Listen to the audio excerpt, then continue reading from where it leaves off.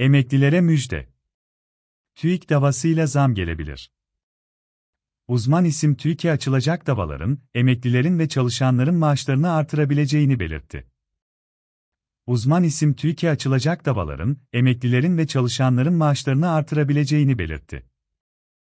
Türkiye İstatistik Kurumu, TÜİK, tarafından açıklanan enflasyon rakamları ile ilgili tartışmalar devam ederken, Ankara Barosu avukatlarından Ali Erdem Gündoğan, bu verilere dayanarak açılacak davaların maaş ve aylıklara zam yapılmasına yol açabileceğini ifade etti.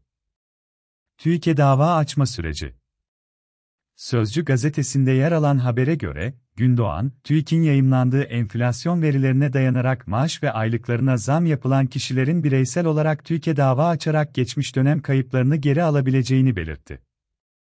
Hukuki sürecin nasıl işleyeceğine dair açıklamalar yaptı. Resmi başvuru ve mahkeme süreci Gündoğan'a göre, emekli veya aktif çalışanlar önce TÜİK'e resmi başvuru yaparak enflasyon verilerinin doğru bir şekilde yayınlanmasını talep edecekler. Eğer TÜİK, bu başvuruya 30 gün içinde yanıt vermezse, başvuru zımni olarak reddedilmiş sayılacak. Bu durumda, idari yargılama usulü kanununun 10. maddesine dayanarak vatandaşlar 60 gün içinde idari yargıda dava açabilecekler.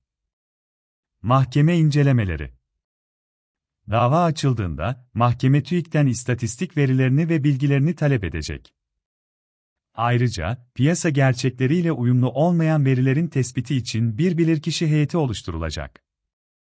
Bu heyet, TÜİK verilerinin gerçek piyasa durumunu yansıtmadığı sonucuna varırsa, mahkeme TÜİK'e verileri düzeltme talimatı verecek. Zam artışları ve hak kaybı bu süreç sonucunda, emeklilerin ve çalışanların geçmiş dönem maaş kayıplarının telafi edilebileceği, dolayısıyla bazı kişilerin maaşlarına zam yapılabileceği ifade ediliyor.